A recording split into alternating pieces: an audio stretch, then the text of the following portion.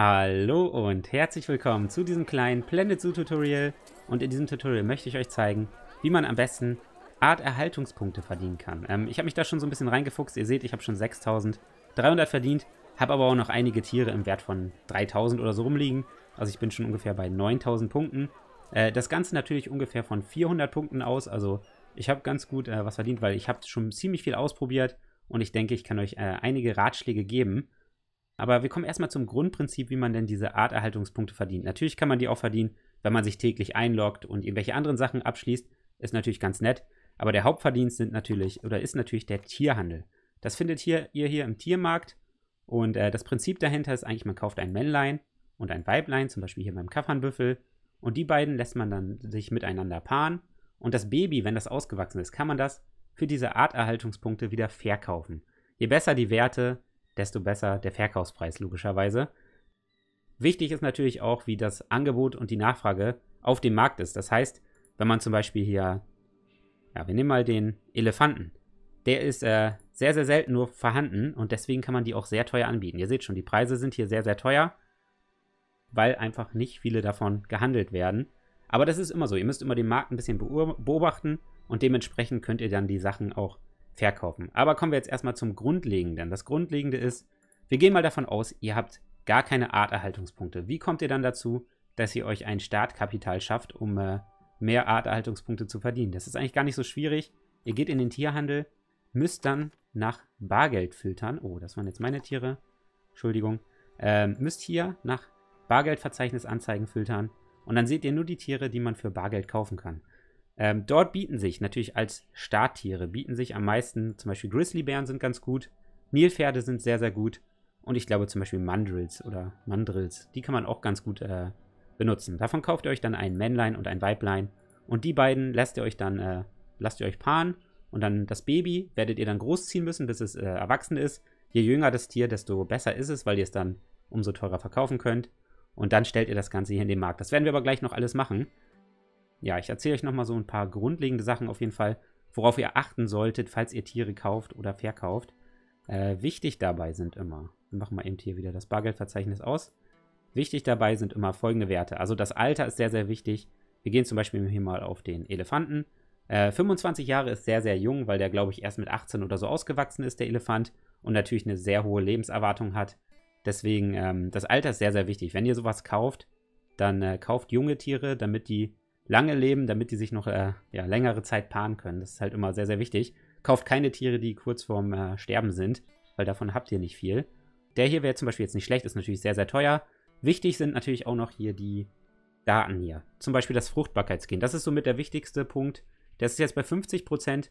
Ich würde sagen, alles über 33% ist in Ordnung. Natürlich umso höher, desto besser. Desto höher ist die Chance, dass sie sich vermehren. Und genau das wollt ihr. Ihr wollt ja Babys haben und mehr Tiere bekommen, damit ihr mehr Arterhaltungspunkte verdienen könnt. Was ich noch sehr wichtig finde, ist das Langlebrigkeitsgen. Logischerweise leben die Tiere länger, wenn das hoch ist, also auch nicht schlecht. Das Größengen finde ich nicht ganz so wichtig. Immunitätsgen, keine Ahnung, was das macht, finde ich auch nicht ganz so wichtig.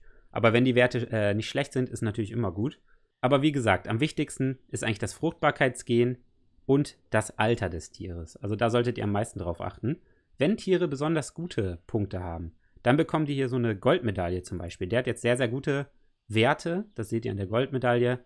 Und es gibt auch noch eine Silbermedaille oder eine Bronzemedaille. Hier zum Beispiel Bronzemedaille. Also nicht ganz so gut, aber immer noch sehr, sehr gut. Und die Silbermedaille. Da seht ihr das daran so ein bisschen.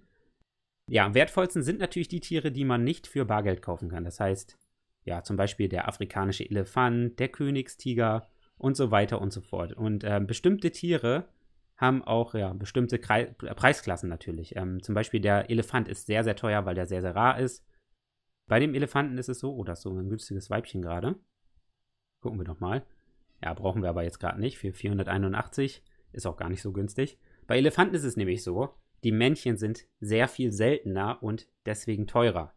Bei äh, Löwen ist es zum Beispiel genau andersrum. Bei Löwen sind die Weibchen sehr viel seltener und sehr viel teurer. Das werdet ihr auch gleich im Markt sehen. Hier haben wir sogar gerade ein Weibchen. 600 ist auch zu viel. Ich filter mal nach Preis und jetzt seht ihr schon, der hier ist zum Beispiel nur so günstig, weil er so ein schlechtes Fruchtbarkeitsgen hat. Also ihr müsst wirklich immer auf die Sachen achten. Also der ist 5,7 Jahre alt, das geht noch. Also drei Jahre werden die, glaube ich, erwachsen Löwen, glaube ich. Aber 5,7 geht sogar noch, weil die immer so bis 12 oder so ähm, ja, Babys bekommen können. Maximal. Ja, aber das Fruchtbarkeitsgen ist immer. Oh. 6,1 Jahre. Mit dem Fruchtbarkeitsgen und Dings. Das war ein Schnapper, meiner Meinung nach. Also ziemlich, ziemlich günstig jetzt geschossen. Ähm, ja, die weiblichen Löwen sind halt wirklich immer rarer als die männlichen Löwen. Männliche Löwen zu kriegen mit guten Werten ist gar nicht so schwer. Wir werden jetzt mal gucken, dass wir noch ein Männchen dazu kaufen, was vernünftig ist. 340 Gold. Hier, der, die Werte sind eigentlich ganz gut. Fruchtbarkeitsgen 50 reicht auch. Aber hier ist das Alter zu hoch. Also da müsst ihr wirklich drauf achten. Der hat zwar diese Bronzemedaille hier, aber der ist einfach zu alt. Ähm, am besten irgendwas mit drei, vier Jahren kaufen.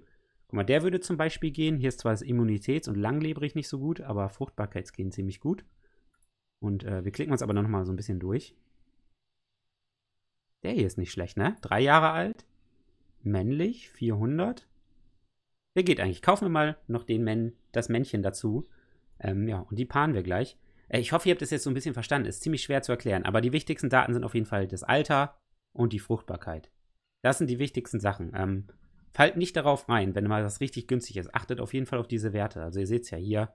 5,7 Jahre ist nicht das Beste und Fruchtbarkeitsgen 17 ist auch nicht das Beste. Deswegen ist wieder so günstig angeboten. Und erkundigt euch immer, also guckt immer ein bisschen auf dem Markt vorbei, was gerade rar ist. Ähm, wenn zum Beispiel ein Tier gar nicht angeboten wird, könnt ihr es natürlich umso teurer verkaufen. Aber ich zeige euch jetzt erstmal, wie man so ein Baby erzeugt. Dafür bauen wir mal eben schnell ein Gehege und lassen unsere gerade eben gekauften Löwen frei. So, die eben gekauften Tiere, die sehen wir jetzt hier im Tierhandel logischerweise. Da haben wir jetzt gerade, oh, welche haben wir denn gekauft? Hier, den hier haben wir gekauft. Wir haben sogar noch einen hier rumliegen.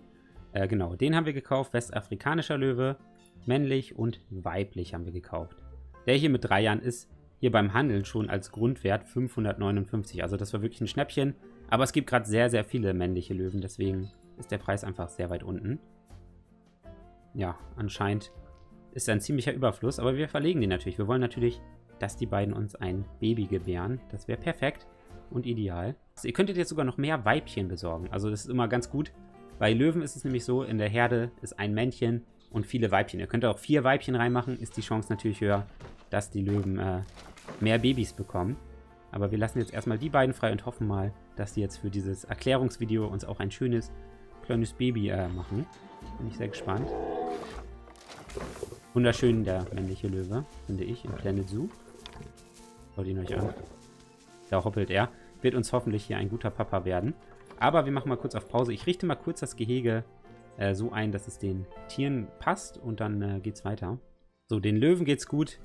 Ihr könnt das natürlich mit jeder Tierart machen, aber am besten beschäftigt ihr euch dann immer vorher so ein bisschen mit dem Markt, wie es bei der Tierart aussieht, was rarer ist, Männchen, Weibchen, wie die Altersklassen äh, sind, also wann ein Tier alt ist und sowas. Das solltet ihr alles vorher wissen.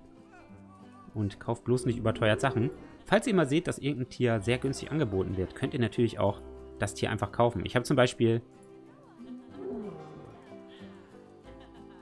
Gutes Beispiel. Oh, der ist 43 Jahre alt.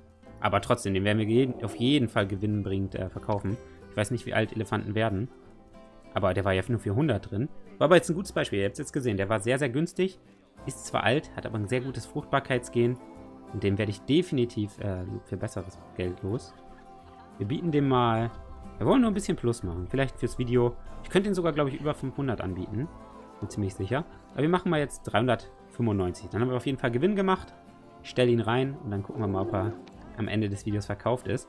Aber wie gesagt, achtet immer so ein bisschen drauf, wie die Tiere, wie alt die werden, äh, welche Geschlechter selten sind und so weiter und so fort. Ähm, ich hoffe jetzt, dass die beiden Löwen sich hier paaren werden. Sechs Jahre und, wie alt war er? Ah, er ist noch äh, ganz, ganz jung. Hier oben könnt ihr übrigens das Alter sehen. Also er ist gerade erst ins Erwachsenenalter gekommen. Hier ist es dann ein älteres Tier und hier ist der Tod. Hier oben sieht... Oh, das habe ich vergessen. Ich habe vergessen, die Wand hochzumachen. sehr, sehr gut.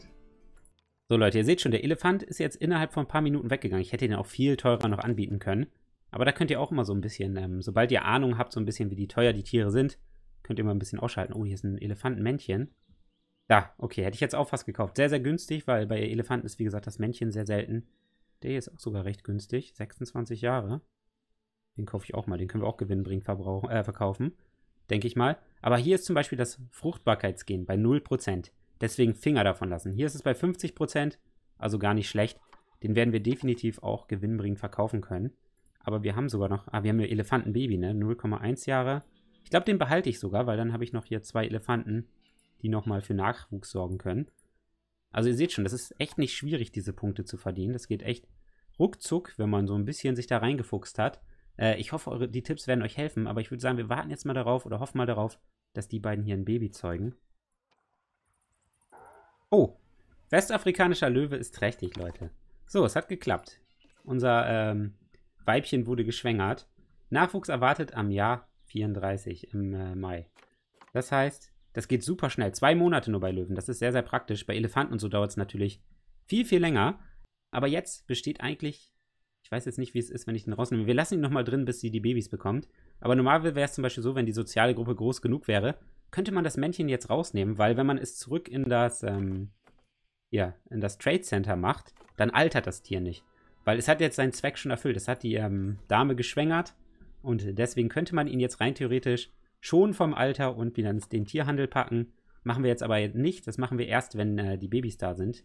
Aber normalerweise würde man es so machen. Also wenn man hier mehr Weibchen drin hätte, würde man jetzt einfach das Männchen wieder ins Handelszentrum packen, einfach damit es kein Alter verbraucht.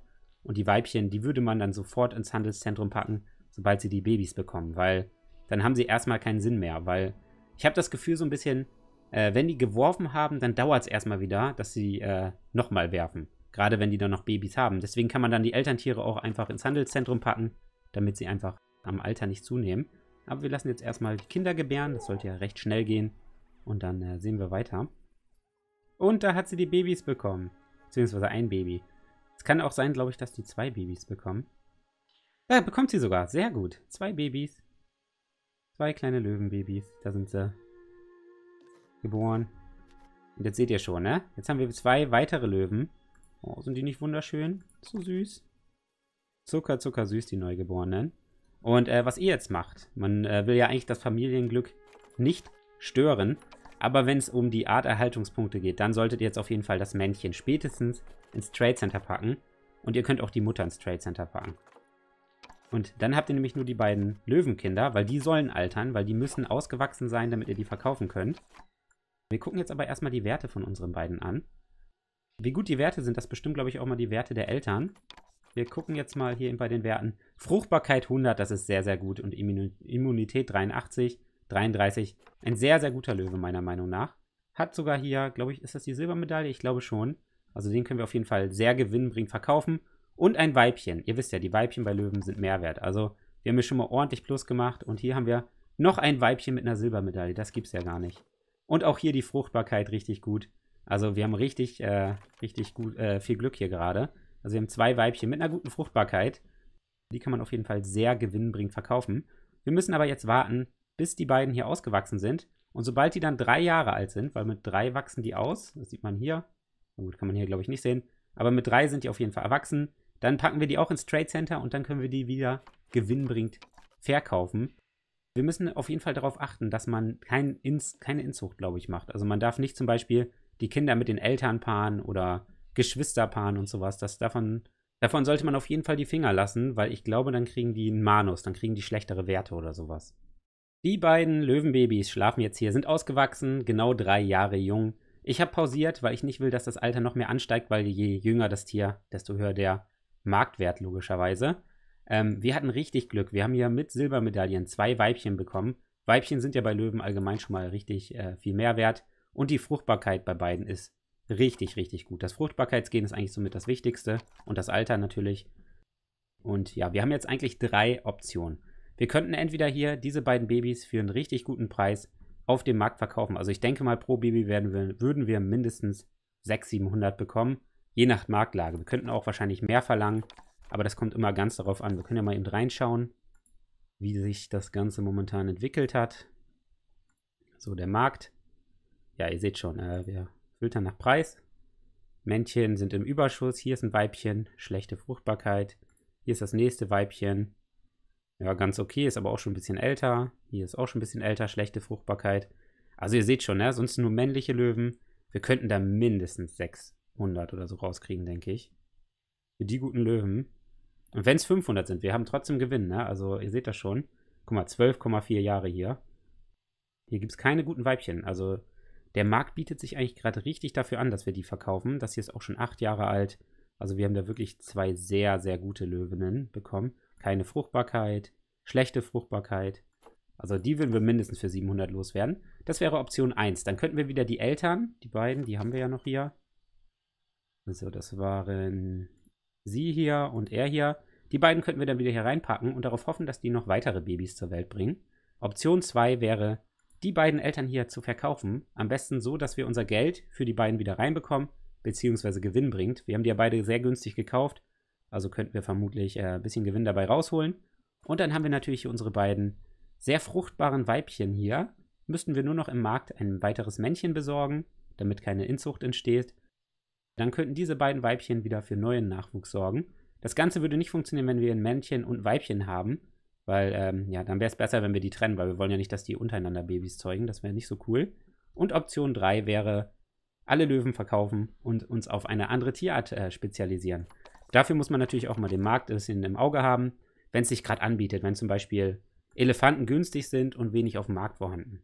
Das wäre jetzt so ein Beispiel, ist gerade nicht der Fall. Ähm, aber dann könnte man zum Beispiel überlegen, ich verabschiede mich von den Löwen und mache das Ganze mit Elefanten weiter.